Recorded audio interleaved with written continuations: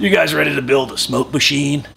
Before we get going, guys, remember to hit that like button, subscribe, and leave a comment down below. How's it going, guys? In this video, I'm going to show you how to turn this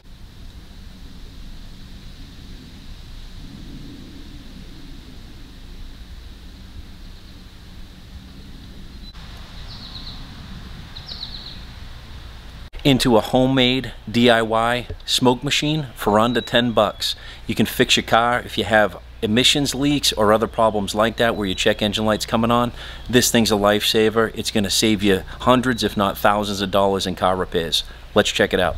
So when I say you can build a smoke machine for under 10 bucks, I'm assuming you have access to an air compressor. This is a six gallon Porter-Cable air compressor with a regulator, which is super important because you're gonna wanna greatly reduce the air pressure to your smoke machine and to your car, or else you're gonna blow the thing apart, which is not good and create more problems for yourself. Uh, the assumption is you have an air compressor. Uh, if not, this is not going to be under 10 bucks to create a smoke machine for you because you're going to have to buy an air compressor or gain access to one. I think I paid something like 150 bucks for this air compressor 10 years ago or something. I've had it for a very long time. Pretty cheap, but just a note there that this is not included in the $10 price. All right, let's take a look at the other components you need. This is your actual smoke machine here, okay? So, number one, you need a paint can. I think this thing cost me like a dollar at Home Depot. If you're super cheap, you can use a paint can you already have. Just an empty, plain old paint can. And you also want to get the lid, which we'll get to in a second. Now, the second thing you want to do is you want to go and buy some cheap, smelly, smoky incense. You can see I got the old black cherry there, which actually doesn't smell bad when I burn these things. So you need cheap incense. I think these incense cost me like, I think it was like two packs for a dollar or something like that. And I think there's like, what, 40 sticks in there. So, a lot of smoke. Uh, screwdriver, just to pop the lid on and off of this thing.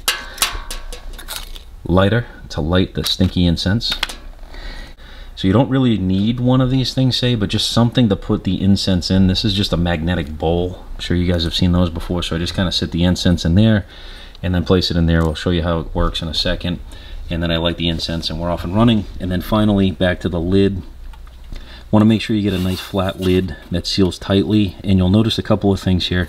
I have two air fittings on the top of the lid. So basically what I did was I just simply drilled a hole here, drilled a hole there, put the air fitting through, and I just simply siliconed around it to hold it in. You can see that. Same thing with this one and we'll show you why you have two of them and how that whole thing works. And then in my case, this is 3 8 inch tubing. And I got, I think it's like 6 feet or 8 feet of it or something like that.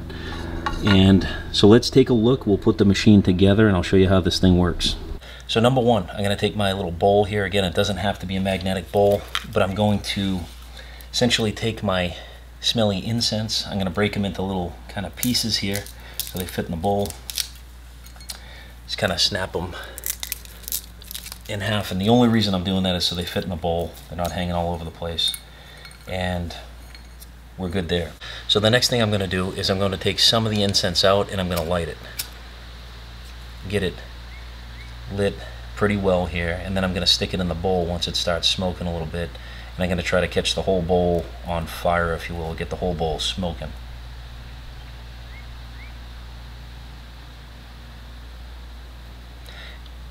The idea here is, is that you want this thing to be as smoky as possible. So I'm going to kind of let this burn, hopefully not me.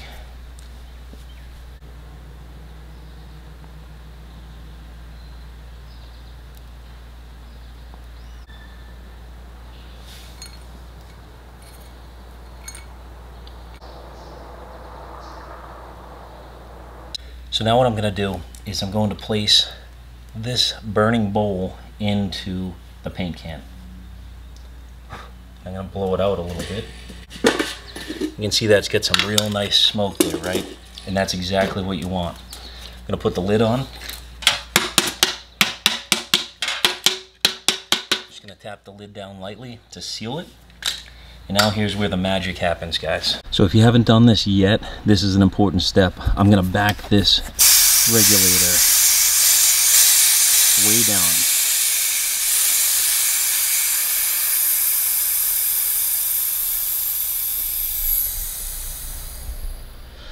And again, the reason for that is you don't want to blow up any of your components in your car and make your situation worse.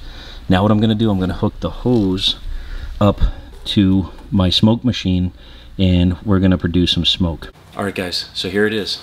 Get my hose from my air compressor right here, my smoke machine. You can see smoke kind of coming out of that fitting right there. I'm gonna put my air hose on there. And remember, I have my regulator backed all the way off so I don't blow this thing up. What you guys can see is not a whole lot, right? So what I'm gonna do is I'm gonna slightly increase, because I don't hear or feel any airflow coming out of this thing. I'm gonna start to force a little air through it. I'm just turning the regulator up a little bit. Here we go, look at that. Boom back it down a little bit. That's exactly what you want. Um, that smoke or even thicker. Now what you can do is you have all kinds of smoke. You separate your emissions components on your vehicle. Uh, for example, I've done like uh, my charcoal canister, my uh, canister close valves, things like that. I'll pull the hose off. I'll put this hose up against the hose on my car and I'll just simply do like gorilla tape or duct tape around it to seal it doesn't have to be perfect and then you have your smoke machine I've found all kinds of issues with my car over the years. My charcoal canister big crack in it. Again canister close valves a couple of times. It's it's been an invaluable tool and look at that smoke. Look at that. Check that out. Exactly what you need. Under 10 bucks provided you have a compressor. Thanks for watching